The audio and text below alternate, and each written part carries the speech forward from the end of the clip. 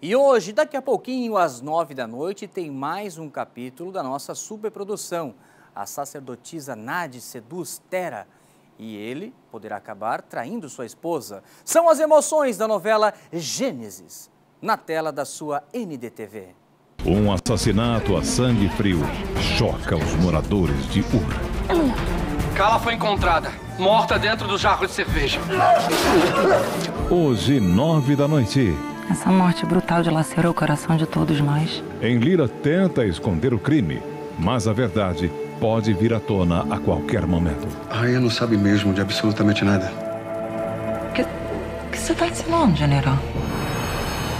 Gênesis